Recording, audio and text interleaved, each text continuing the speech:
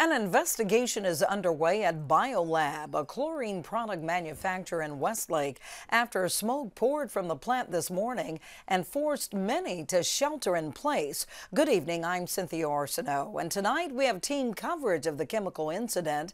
We start with KPLC's Teresa Schmidt. About 8.30 in the morning, the Calcasieu Office of Homeland Security issued a precautionary shelter in place for the area around BioLab.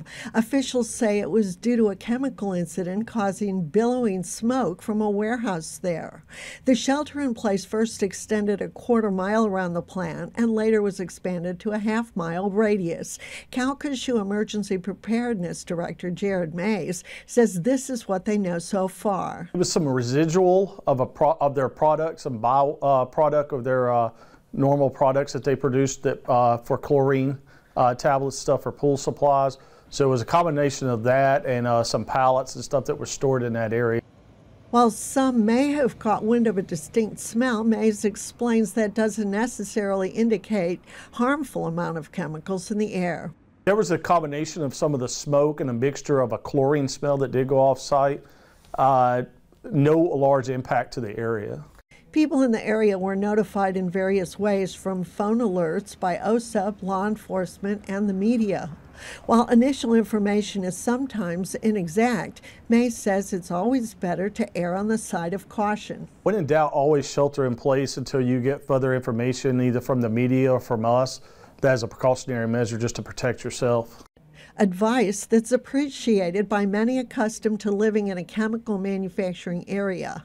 I, I was glad we heard about it and I'm glad it was nothing serious, but you know, I have to trust that the industries are always going to inform us and um, all the officials are going to do the right thing and, and get the word out there. An investigation into the cause of the incident is underway. Teresa Schmidt, 7 News.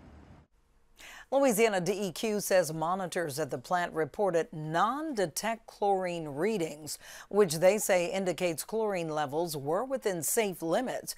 They say air monitoring will continue in the area. In a statement, the company official said, quote, BioLab can confirm it has now fully contained the smoke previously emanating from its facility and expects to resume operations at its facility in short order. We are grateful to our employees on site who are all accounted for with no injuries reported. We also want to thank the first responders and local authorities for their collaboration in swiftly bringing this incident under control. As always, the safety and well-being of our community in Lake Charles remain our top priority. End quote.